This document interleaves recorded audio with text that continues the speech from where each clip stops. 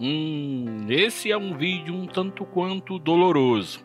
A gente vai relembrar, homenagear grandes nomes do cinema, da música, da TV que infelizmente partiram, mas partiram antes da hora, tiraram suas próprias vidas.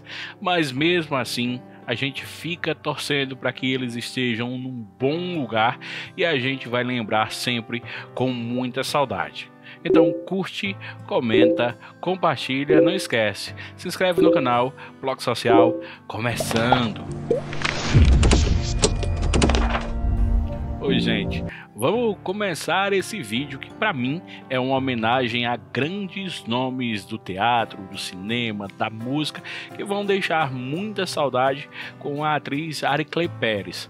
Ela faleceu em São Paulo em 26 de março de 2006, aos 62 anos. Ela teria caído da janela do seu apartamento na capital paulista, mas existe a suspeita de que ela teria se suicidado.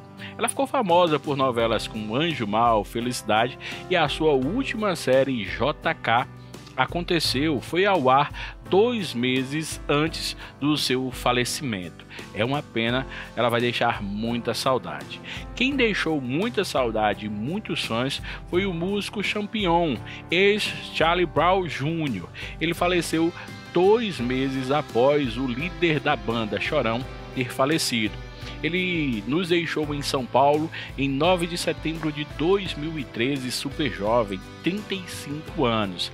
A esposa do músico estava grávida e ele, infelizmente, teria cometido suicídio quando ela estava com 5 meses de gravidez, dois meses após a morte do Chorão. Até hoje, Charlie Brown Jr. é um dos maiores nomes do rock brasileiro e sempre vão deixar muita saudade. E mais, tem o Flávio Migliati, o ator, fez muita coisa legal na TV brasileira, Eta Mundo Bom, Tapas e Beijos e muita história para contar ele andava triste e foi encontrado sem vida em Rio Bonito, interior do Rio de Janeiro, em 4 de maio de 2020, aos 85 anos. Ele deixou uma carta que ficou super conhecida nas redes sociais, dizendo que infelizmente preferia partir, já que a humanidade estava completamente errada, e ele pediu que as pessoas educassem os seus filhos para tratarem bem os mais velhos, os Tem outro nome, Heloísa Faisol, cantora, ficou famosa pelo funk e foi parar na Fazenda da Record. Muita gente a conhecia por sua irreverência, mas infelizmente, antes do seu falecimento, ela andava bem triste. Ela faleceu no Rio de Janeiro em 2 de fevereiro de 2017, aos 46 anos. Ela foi encontrada sem vida por seu filho em seu apartamento em Copacabana, no Rio de Janeiro, e avisou Infelizmente, era a hora de partir. Ela não queria mais viver, mas deixa muita saudade. O pessoal que acompanhou ela na fazenda sente essa saudade. Kurt Cobain era cantor, compositor, ex-Nirvana, tentou se matar por quatro vezes, mas acabou conseguindo no dia 5 de abril de 1994, aos 27 anos, na cidade de Seattle, nos Estados Unidos. Nesse dia, ele teria fugido de uma clínica onde se tratava contra a dependência de drogas e foi encontrado em seu apartamento pelo eletricista que estava lá para cuidar da manutenção do seu apartamento e o encontrou já sem vida. Muitos fãs até hoje olham Nirvana como uma das melhores bandas de rock da história.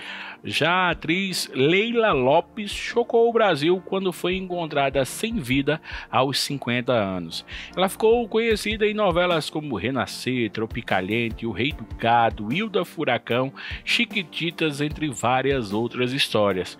Mas em 3 de dezembro de 2009, em São Paulo, ela foi encontrada sem vida e deixou uma carta. Ela disse que não sentia mais vontade de viver e sentia vontade de ir para perto de Deus. Pois é, Leila Lopes até hoje é considerada uma das mais lindas atrizes brasileiras de nossa história. Quanta saudade. Tem mais, tem uma americana, talvez um dos maiores nomes da história do cinema mundial, Marilyn Monroe a atriz foi encontrada sem vida em 4 de agosto de 1962, aos 36 anos.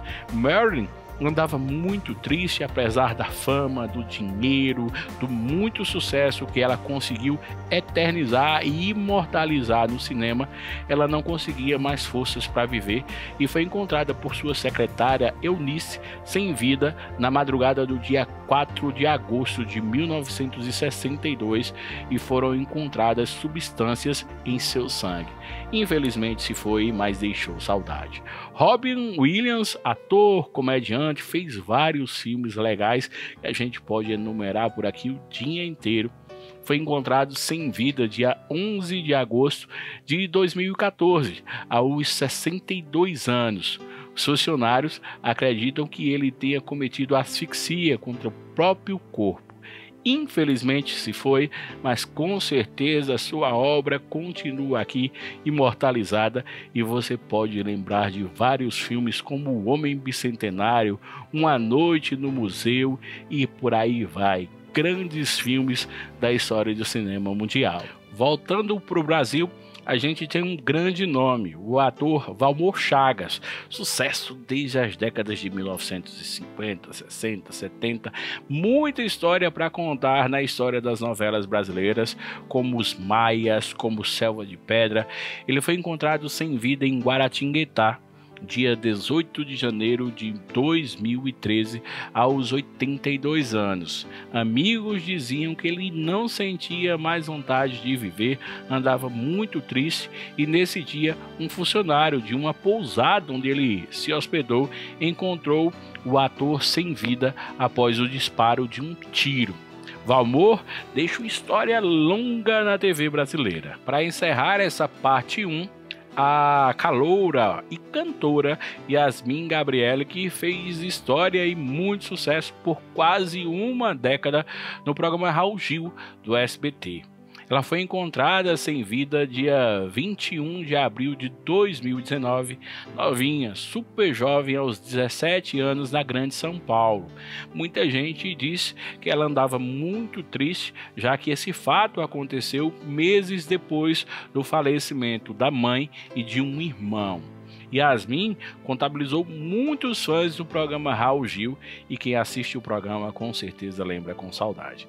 Essa foi a parte 1 desses grandes nomes que infelizmente nos deixaram antes da hora. Quer ouvir somente as músicas aqui do Bloco Social? O link segue aqui na descrição. Mas segue a gente nas redes sociais, arroba Bloco Social, aperta no sininho, curte. Tchau, tchau.